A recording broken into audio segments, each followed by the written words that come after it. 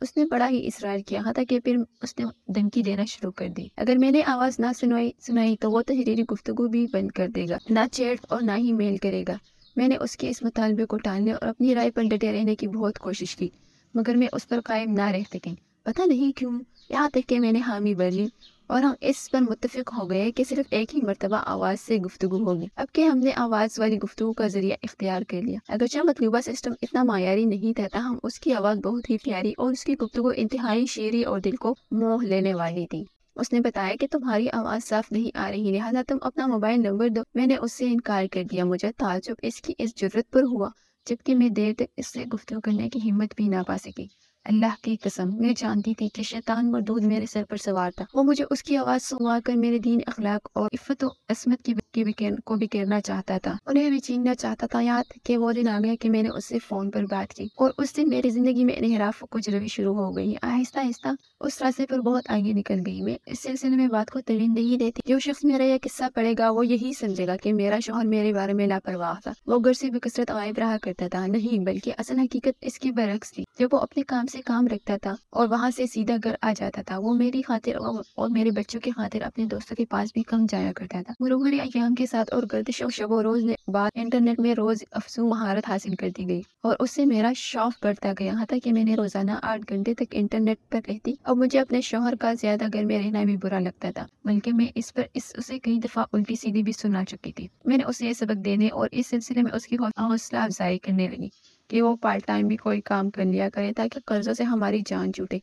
और मुख्तलिफ़ किस्तों की अदायगी की बताई सिलसिला से ग्लासी मिले। वाकई, उसने मेरी ये बात भी मान ली और अपने किसी दोस्त के छोटे से कारोबार में हिस्सेदार बन गए। उसके बाद तो मैं अपना ज़्यादा से ज़्यादा वक्त इंटरनेट पे ही गुजारा करती थी। कभी कभी वो टेलीफोन और नेट के कनेक्शन के बिलों पर सिर्फ़ बिटा जाते थे, जो बाज दफ़ा हज़ारों रियाल तक आ जाते थे, लेकिन मुझे उससे रोकने में कामयाब ना हो सके। इस आशना के साथ मेरे ताल्लुक रोज बरोज गहरे होते गए। जब कई मरतबा उसने मेरी आवाज़ सुननी बल्कि खूब दिल भर कर सुननी तो उसने सारा मुतालबा करना शुरू कर दिया कि वो मुझे देखना चाहता है। मुझे उसके इस मुतालबे की कोई खास परवाह नहीं थी, और ना ही मैंने उससे ताल्लुक कता करने की सोची, बल्कि मैं तो सिर्फ़ उसके मुतालबे पर अपनी खुफकी का इजहार कर दिया करती, जबकि दर हकीकत में भी उसके दीदार की उससे ज़्यादा तमन्ना रखती थी।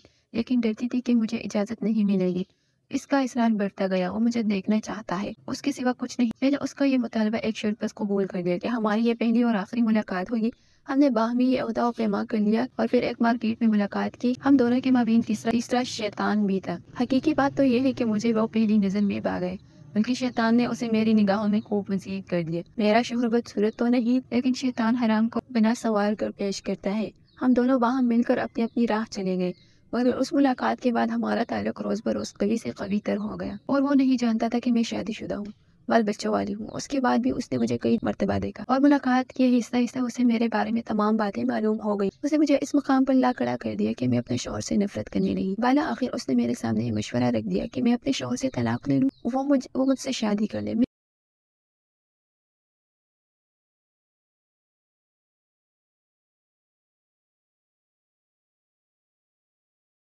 मैं अपने शोर से नफरत करने लगी थी। मैं अब रोज़ बरोज़ नए मिसाइल खड़े करना शुरू कर दिए, ताकि किसी तरह वो मुझे तलाक दे दे। एक दिन मेरे शोहर ने मुझे बताया कि वो कारोबारी सिलसिले में पाँच दिन के लिए बाहर जा रहा है। उसने मुझे मशवरा दिया कि बच्चों के साथ अपने मेके वालों से मिलाऊँ। मैंने सोचा कि अपने आश्ता से खुलकर मिलने का यह मुनासिब वक्त है। मैंने अपने मेके जाने से इनकार कर दिया। नाचार मेरा शोहर राज़ी हो गए। जुम्मा का दिन वो पाँच दिन के लिए सफ़र पर रवाना हो गए। उसकी रवानगी के बाद एक दिन छोड़कर इतवार को हमने मुलाकात की। मैंने उस शैतान सिर्फ़ शख्स से एक मार्केट में मुलाकात करने का वादा किया। मैं उसके साथ गाड़ी में सवार हो गई। वो मुझे मुख्तलिफ़ सड़कों पर लिए घुमाता रहा। ये मेरी ज़िंदगी का पहला मौका था कि मैं किसी अजनबी के साथ बाहर गई। इसलिए मैं कुछ कल को इस तरह वो परेशानी में मुबतला थी। मैंने उससे कहा कि मैं घर से ज़्यादा देर बाहर नहीं रह सकती। मुझे डर है कि मेरा शोर कहीं फ़ोन ना करे या कोई वाक्य ना रो, ना रोनुमा हो जाए।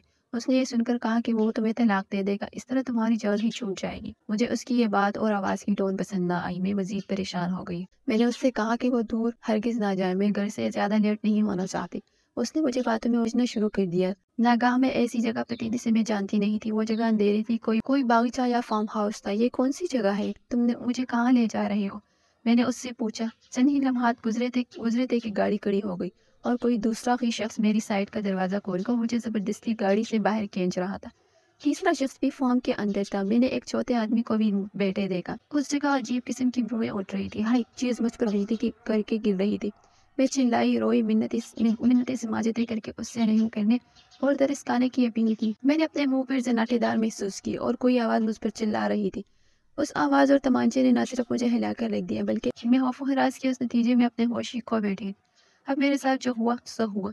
कुछ देर बाद जब मुझे होश आया तो मैं सख्त मरगूब थी। मेरे सारे जिसम पर रक्षा तारी था। मैं लम्हा भर के रोने से नहीं रुक रही थी। उन्होंने मेरी आँखों पर पट्टी बांधी और गाड़ी में डाला और मेरे घर के करीब एक जगह में पहन दिए। बाग, बग, बागम बाग घर में दाखिल हो गई।